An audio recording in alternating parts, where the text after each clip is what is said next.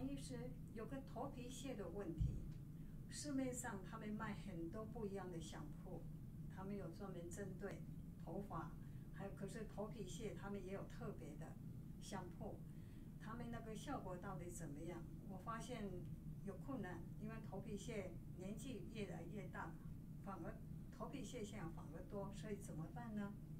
谢谢。头皮的问题呢是一个很大的问题，他有头皮的问题，也有头发的问题。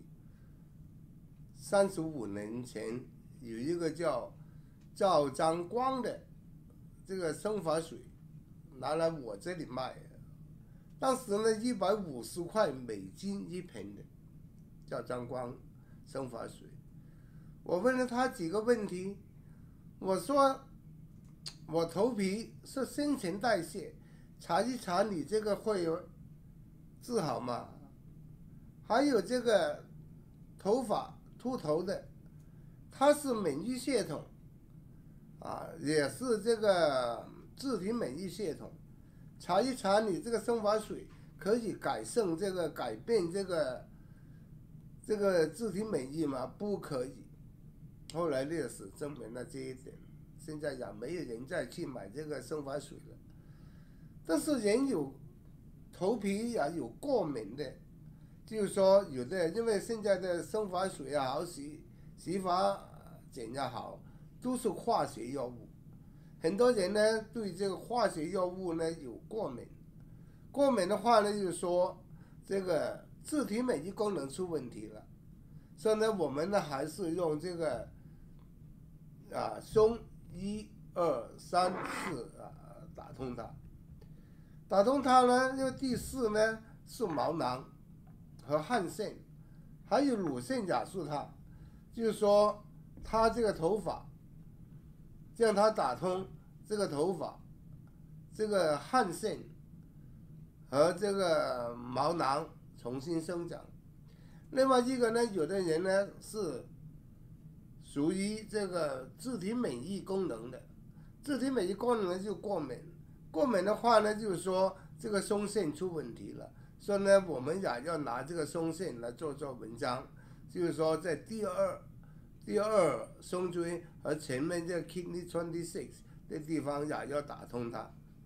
然后呢，头部呢只是一个阿数穴，你可以用锤子，或者戴我们的帽子，或者戴我们的耳机。都有很大的帮助的，它不但是头皮的问题，还有头发的问题。头发呢，它也脱落呢，有的时候呢，秃头的呢，我们叫鬼剃头，那个呢就属于自体免疫系统。啊，一般呢，将这个汗腺、毛囊治理好了，那么这头发的颜色也可以由原由原来的白色的。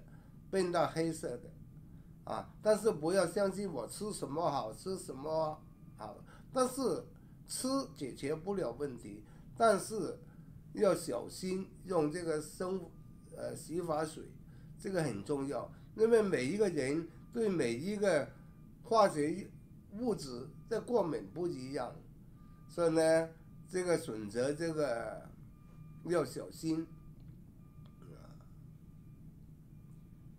谢谢。不，所以呢，比如说这个洗发水用了，你一直头皮屑很多，就应该换换其他的。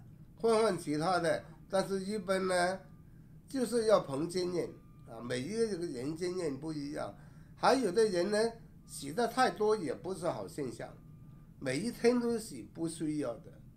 啊，我自己呢，一个星期两次，但是有的人一天已经两次，那么呢，你这个头皮受不受得了？这个化学物质的刺激呢，这又是另外一个问题，啊。非常谢谢。